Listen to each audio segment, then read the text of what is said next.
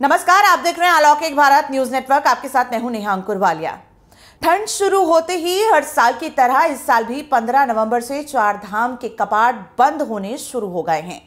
Corona काल में लाखों श्रद्धालुओं ने चार धाम के दर्शन किए। हर साल बढ़ती ठंड को देखते हुए चार धाम के कपाट बंद कर दिए जाते हैं, क्योंकि इस दौरान यहाँ भारी बर्फबारी होती है और तापमान शून्य से नीचे चला जाता है। शीतकाल के दौरान 15 नवंबर से चार धाम बंद होना शुरू हुए। चार धामों में से एक धाम गंगोत्री धाम के कपाट गोवर्धन पूजा के दिन 15 नवंबर को बारह बजकर पंद्रह मिनट पर बंद हो गए। उत्तरकाशी में रविवार को गंगोत्री के कपाट बंद करने की रस्म में कई श्रद्धालुओं ने भाग लिया। साथ ही तीर्थ पुरोहित भी इस रस्म में मौजूद थे। बाद में माँ गंगा के उत्सव डोली उनके शीतकालीन प्रवास स्थल मुखबा के लिए रवाना हुई। इस वर्ष कोविड के कारण देर से जुलाई में शुरू हुई यात्रा के दौरान 23,500 श्रद्धालुओं ने माँ गंगा के दर्शन किए।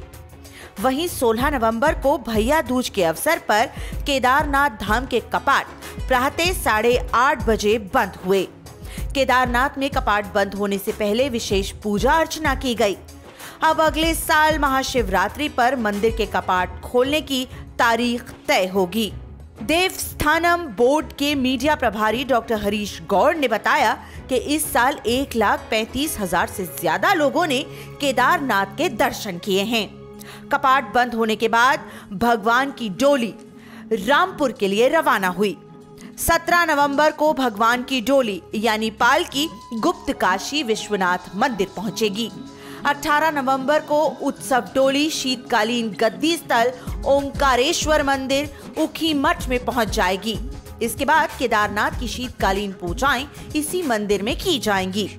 वहीं 16 नवंबर को यमुनोत्री धाम के कपाट दिन में बारह बजकर पंद्रह मिनट पर बंद कर दिए गए।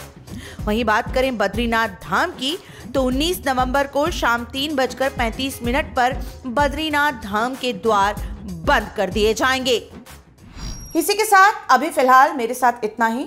देश और दुनिया की बाकी खबरों के लिए आप देखते रहिए एबीएनएन और साथ ही एबीएनएन डॉट टीवी पर आप देख सकते हैं देश और दुनिया की तमाम अपडेटेड खबरें भी।